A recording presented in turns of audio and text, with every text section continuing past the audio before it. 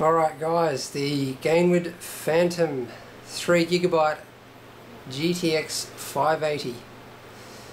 So I've been pretty excited about getting my hands on one of these and at last I have. So just give you a quick look at the box to start with. Nothing too exciting on the box, it's all pretty obvious stuff um, besides what they say about the cooler. So that's what they have to say about the cooler there. 6.3 decibels quieter, 12 degrees cooler. And there's the design. And there's a bit of a write up on it there, so you can pause that if you wish. Um, yeah, besides that, it's all pretty standard. So I'll just get you off the tripod and we'll have a look at what's in the box, which is actually not a whole lot.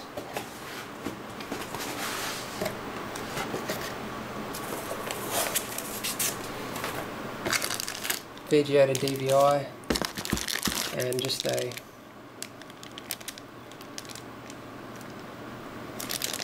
dual 6 pin to 8 pin which if you're running one of these cards you should have a real power supply so you shouldn't have to use those.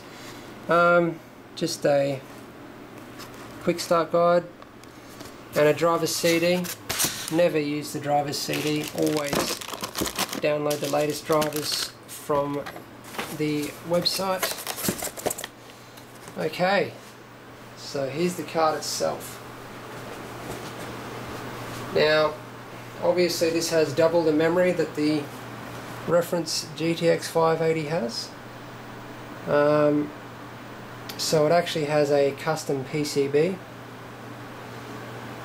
and not just because of the extra memory um, it's because it has extra um, voltage regulators and power hardware MOSFETs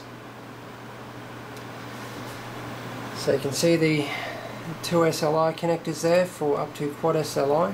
The usual 8 pin and 6 pin power connector and that's the same as the reference card. It's basically got the radiator, you know the fins in front of the fans uh, and then the fans are underneath which is great because it pulls the cool air straight through the fins and then you know it blows a lot of air also onto this um, contact plate that they've got that goes right across the printed circuit board. Um, I'll give you a better look at that in, in a minute. And that covers all the memory um, and a lot of the other bits and pieces. So it's a very awesome looking design. I'll just try and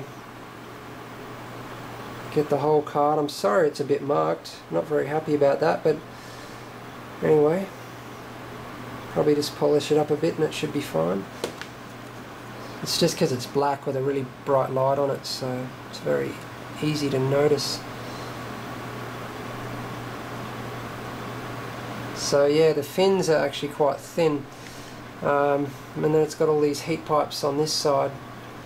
One, two, three, six heat pipes so you can see the contact plate a bit better there. It goes all the way. And so those heat pipes go straight down onto the back of the um, heatsink block that contacts the GPU itself. So you can see there's three of those fans in there. Um, can just see it there. I'm actually not sure how big they are. I should have really checked somewhere. But um, they look they look about 60 millimeters, maybe a bit bigger. Don't quote me on that.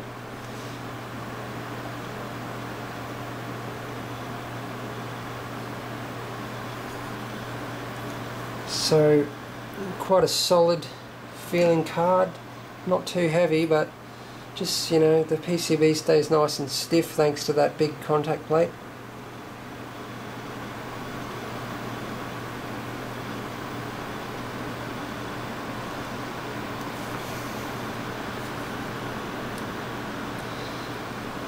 So a dual DVI and we've got a HDMI and a display port.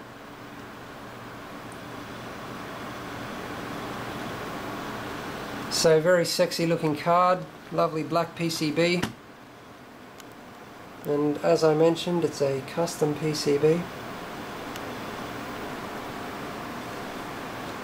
and a beautiful looking cooler on it too. I'm actually going to be water cooling this card. Um, uh, there's also a Phantom logo just there.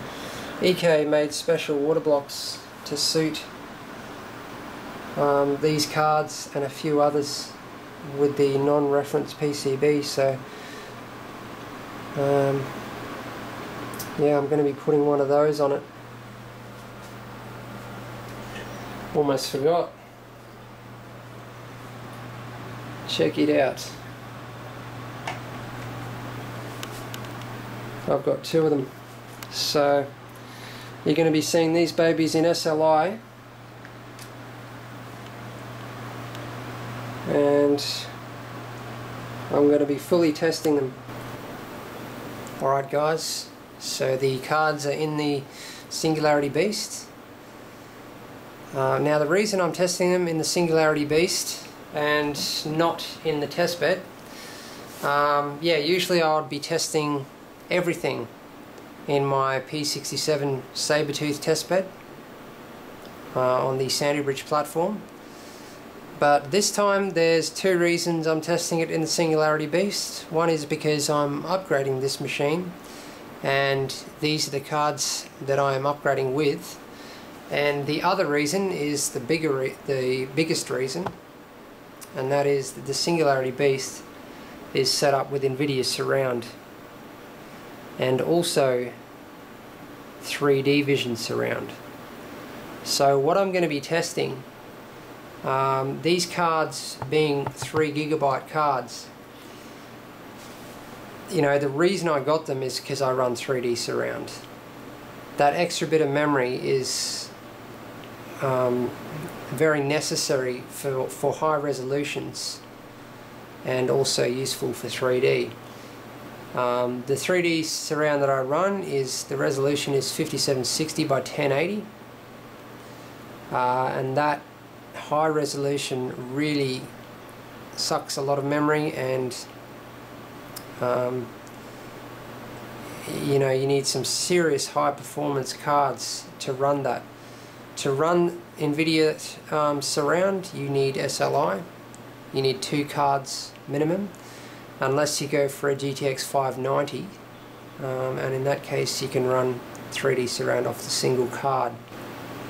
Um, okay, so I'll just give you a quick listen to the cards. They've been idling for a good long time.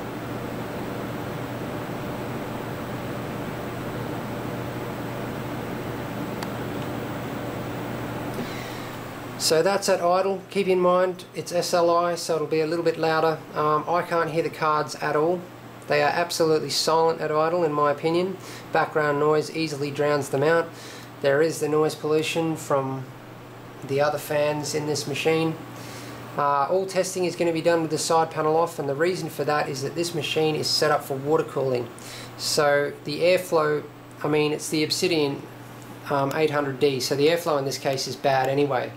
Um, but I'm missing quite a few fans uh, because I'm running water cooling so the airflow is extremely bad um, you know normally it would be on a test bed which is even more open. So the side panel will stay off for this testing.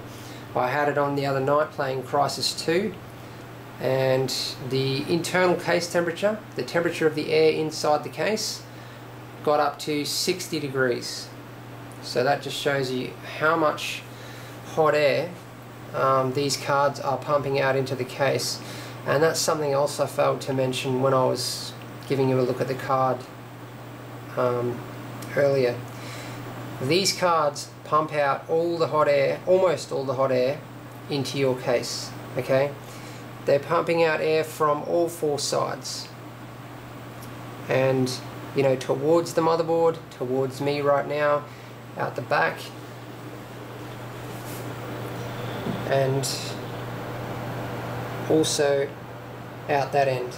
Well that's the back really um, that's the front I guess. Um, so anyway all four sides hot air is cranking out so you're going to need a case with supreme airflow. So yeah if you're going to be buying these cards or even one of these cards you need as much airflow as you get as you can get. Okay so you can see the two GPUs GPU 1 idling at 51 degrees GPU 2 at 45 GPU 1 is um, always a bit hotter. So you can see both GPUs are at 0% usage. Okay guys so I've had the cards running at 100% load for about 30 minutes now. You can see the temperatures there of GPU 1 and 2 So you can see load is at nearly 100%. I'm using folding at home as usual. Um, so yeah, right there you can see both cores at nearly 100%. So I'm just going to take the camera off the tripod and give you a close listen to the cards. Um, no doubt you can hear them from here but I'll put you right up close.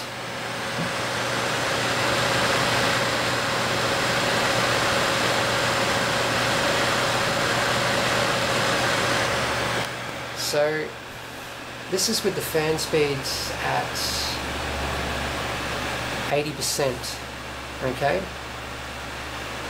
So the fan speeds are at 80% at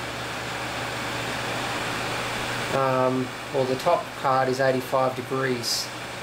So I'm just going to turn them up to 100% for you. Uh, just so that you can get an idea of how bad it can actually get. Keep in mind this is SLI it's in a low airflow case. Uh, it's in a very very hot room okay? So the room temperature is 32 degrees currently. Um, I mean, the, the fans are going to be spinning that fast at this GPU temperature, no matter what temperature the room is. Um, but if the room was cooler, the, the cards would certainly be a lot cooler. Um, so 32 degrees, the cards the top card is currently 84 degrees. Um, can't really calculate that delta that quickly in my head because I'm not that good at maths but here we go. Fan speed at 100% just give it a minute to spin up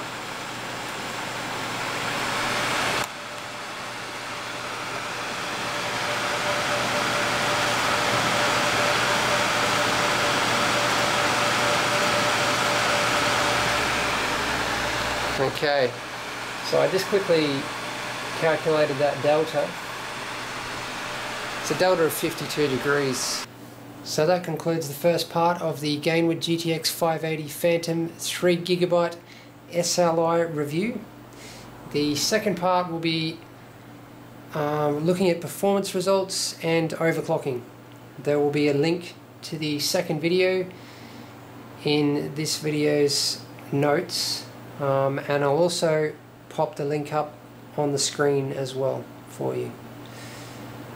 Uh, make sure you watch the rest of the um, make sure you watch the second video because what you've seen so far is um, only half of it and not the most important half of it um, yeah make sure you check out all the performance results and what I managed to do with the overclocking and keep in mind there will be 3D surround